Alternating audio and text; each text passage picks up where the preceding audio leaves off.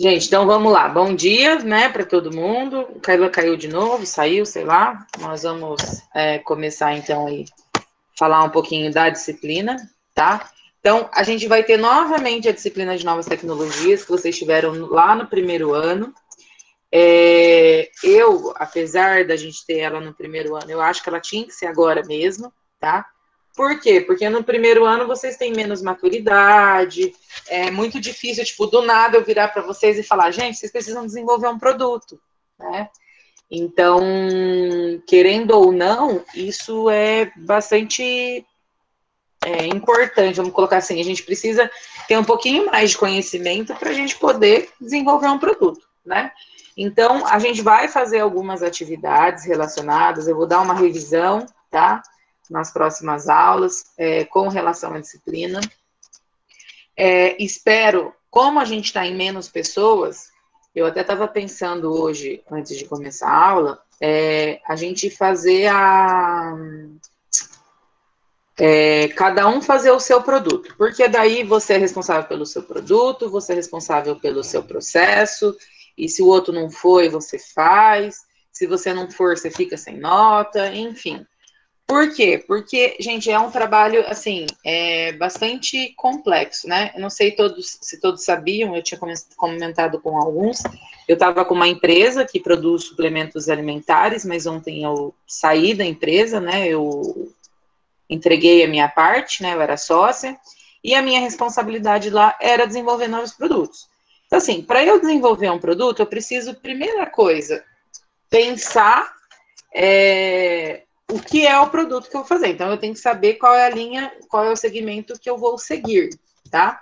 Depois disso, que aí eu vou começar a buscar como, o que, que tem nesses produtos, quais são os ingredientes para eu chegar no produto final, Aí, eu entendendo quais são esses ingredientes, eu vou procurar os fornecedores para eles me mandarem amostra, para eu fazer teste, para eu saber o que eu vou comprar, para saber é, preço. Então, tudo isso eu preciso. É, tipo assim, é um longo caminho para a gente percorrer, né? Não é em um mês a gente desenvolve um produto, é algo um pouquinho é, mais complexo. E aí a gente tem que olhar a legislação, enfim.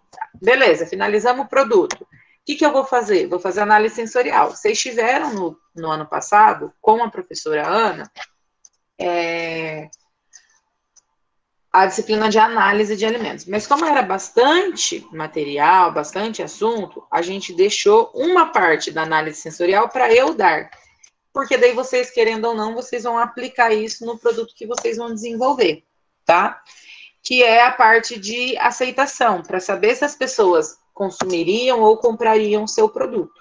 Então, isso é muito interessante. Então, é, eu vou explicar também a parte teórica dessa, dessa disciplina, para daí vocês poderem fazer aí, a, aplicar isso, né? Então, assim, teo, teoria esse ano, tá? Só para vocês saberem. Então, a gente tem a revisão, né? A retomada do conteúdo, porque querendo ou não, faz quatro anos, três anos, né, que vocês viram essa disciplina. Depois disso, a gente volta para algumas coisas que a gente não conseguiu ver, como, por exemplo, o custo. Então, quem gosta de matemática vai estudar um pouquinho melhor. Quem não gosta vai aprender a gostar. Por que, que eu falo vai aprender a gostar? Porque, pensa comigo, é, a gente precisa pensar, quando eu falo do,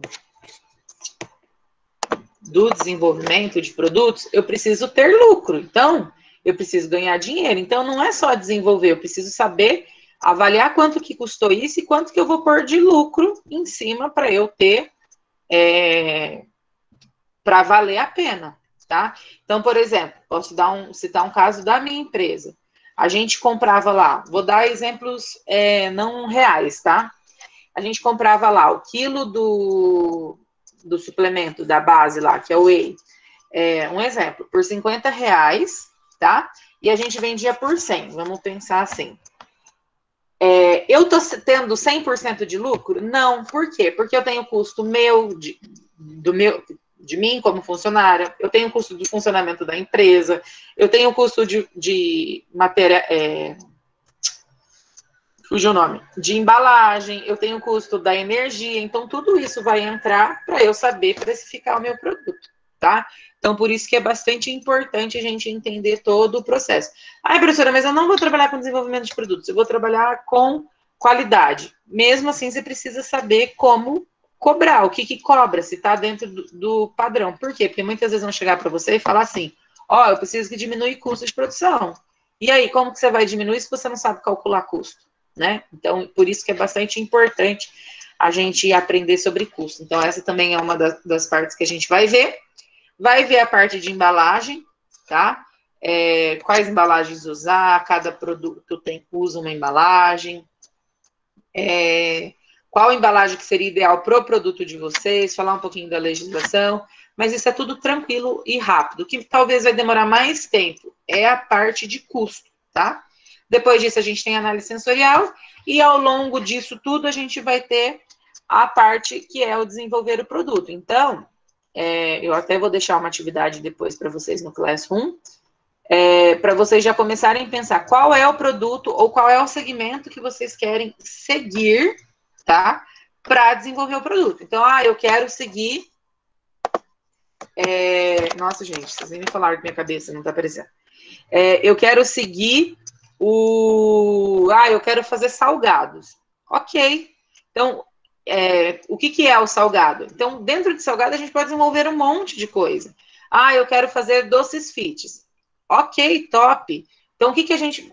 Vocês não precisam definir agora, começar a pensar o segmento, tá? Então, ah, eu vou trabalhar com sucos, ok, ótimo. Ah, eu quero trabalhar com alimentos fit. Então, dentro disso, a gente vai é, se organizando, vai afunilando, tá? Não vou voltar tudo lá, fazer brainstorming, fazer é, geração de ideias, seleção de ideias, a gente não vai fazer isso, tá?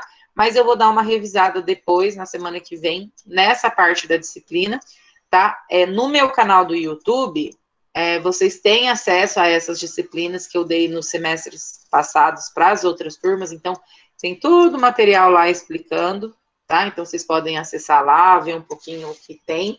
E eu, tudo que eu dou em aula, eu também gravo e deixo no YouTube. Mas não é por isso, gente, que vocês não vão acessar minhas aulas online, tá? Por favor. Eu não dou aula online toda semana, então normalmente eu aviso, ó, vai ser aula online, vai ser vídeo, é, ah, hoje vai ser aula online, mas só para tirar dúvida de atividade. Aí, quem tiver é, dúvida para tirar, tira. Eu estou sempre à disposição de vocês. Eu continuo ainda como coordenadora do curso, tá? Continuo como coordenadora de estágio. Com relação ao estágio, é, assim que eu tiver mais informação como vai funcionar esse ano, eu entro, eu falo, eu, a gente marca um horário para a gente conversar. Por enquanto, eu não vou entrar muito em em informações, porque a gente não tem, não sabe como vai ficar por causa da pandemia, mas a gente vai dar um jeito, porque esse ano vocês precisam se formar, né? E aí, quem só tinha feito estágio ano passado era o Igor, infelizmente ele não está mais conosco, e aí a gente precisa se organizar, tá? Mas aí a gente vai ver os O Igor morreu? Não, o Igor está, mudou de turno. É, então, a gente tem aí é tudo isso que a gente vai ter ao longo do, no, decorrer, no decorrer do ano, tá? Mas a gente vai pelo horário de vocês, o que, que vocês podem. Ah, professor, eu posso fazer um, uma hora por dia. Tudo bem, você vai ter que fazer 160 dias, vai fazer de estágio. Mas é possível, né? Então, só se organi a gente vai se organizar, mas depois a gente conversa sobre isso, tá? Não vou me alongar muito com relação ao estágio, até para não perder o foco da aula. É, e aí, eu queria falar um pouquinho hoje para vocês, eu vou dar só uma introdução, uma pincelada sobre desenvolvimento de produtos, e aí eu vou passar alguns produtos que são, desenvolvi são desenvolvidos, não, que já foram desenvolvidos é, há algum tempo, que talvez para muitos de vocês não vai ser é, novidade, mas é, são, como que eu vou dizer, já foi novidade, tá? Então, eu vou dar uma vou dar uma, vou dar essa palestrinha aí para vocês, mas é rapidinho, tá? Acho que até 11 horas a gente termina. Deixa eu só. Aí, se vocês tiverem alguma dúvida, alguma pergunta, manda no chat, porque daí eu consigo responder depois, porque eu não fico olhando o que, que vocês estão fazendo, tá? É, enquanto eu tô falando. Normalmente eu não olho. Daí vocês mandam lá, depois aí a gente discute, tá? Gente, eu vou só parar a gravação e começar outra de novo, só um pouquinho.